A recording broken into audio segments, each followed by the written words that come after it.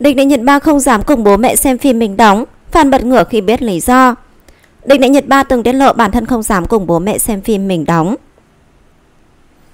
Là diễn viên nổi tiếng với bộ sưu tập phim khủng, nhưng Địch Đại Nhật Ba lại hiếm khi xem phim mình đóng cùng bố mẹ.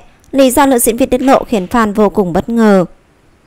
Cụ thể trong một cuộc phỏng vấn, Địch Đại Nhật Ba thẳng thắn chia sẻ bản thân vốn không hay xem lại phim mình đóng cùng với bố mẹ, thậm chí là bạn bè. Chỉ thỉnh thoảng khi có thời gian rảnh, cô mới ngồi xem lại một mình. Nhiều người bất ngờ trước chia sẻ này bởi những phim nữ diễn viên đóng đa số đều có tạo hình đẹp, kịch bản ổn áp, diễn xuất cũng không quá tệ. Khi được hỏi lý do cho việc này, Địch Đệ Nhật Ba ngại ngùng trả lời bởi vì phim có nhiều cảnh tình cảm với bạn diễn nam, nếu xem cùng bố mẹ sẽ rất xấu hổ.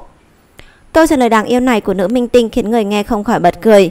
Quả thật hiếm mà tìm được một ngôi sao có suy nghĩ và chia sẻ thành thật như Địch Đệ Nhật Ba.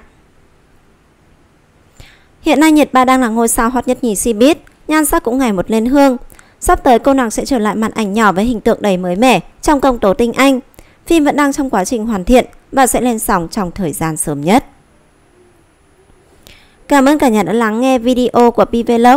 Cả nhà đừng quên nhấn like và đăng ký kênh để nhận được những thông tin mới và hot nhất. Xin chào và hẹn gặp lại.